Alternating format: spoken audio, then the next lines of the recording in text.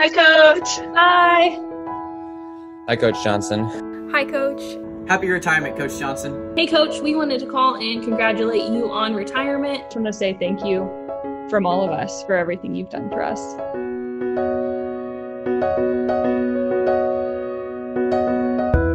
Coach Johnson has this unique ability to see what you're capable of before you do. The bar he sets for his athletes Uh, appears to them to be really high at first, but to him it's just realistic. And he's nearly always right. I've learned so much from Coach Johnson over the years, and those lessons continue to resonate today. Coach, I am forever grateful for all you've done for me over the course of my collegiate running career and, and my life to follow. I, I'm thankful for your guidance, for your caring, and for your wisdom. And I wish you all the best of luck in your next chapter.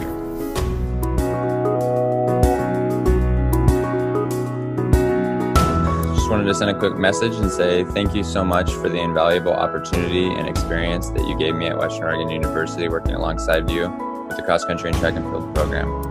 I and many others in the community would like to thank you for everything you've given to the program, everything you've given to the university, and everything you've given to the overall community. You've had a huge effect on Western Oregon in, in the last 48 years in coaching in general and on our entire sport. I know you'll still be working in some fashion related to the sport, the cross country and track and field, and giving back to Western Oregon University. Thanks, Coach.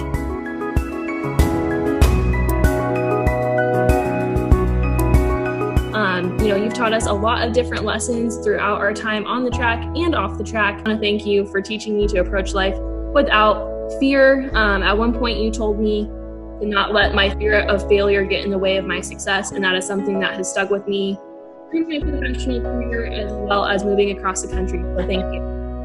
Uh, Coach, I often think of you during my workday when things get hard because you used to always tell me to not get so flustered and that I could tackle anything that comes across my way. And I just really appreciate your wisdom that um, transfers to everything in life.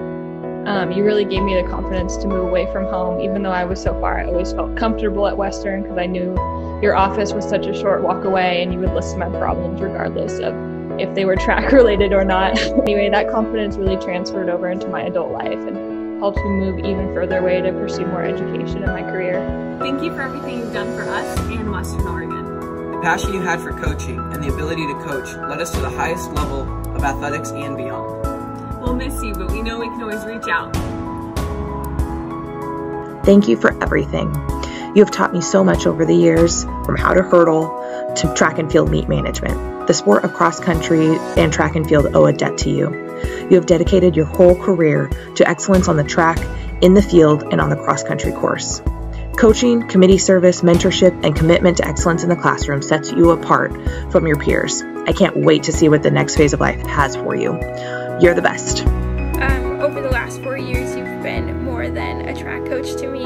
We've had a great time joking together. You've been a great thought partner, and you really have been the positive voice in my head when a lot of my internal dialogue was doubting or negative. And without that, I would not have found a lot of the success that I did here. So, thank you, thank you, thank you. Thank you for taking a chance on me. Thank you so much for everything you've done.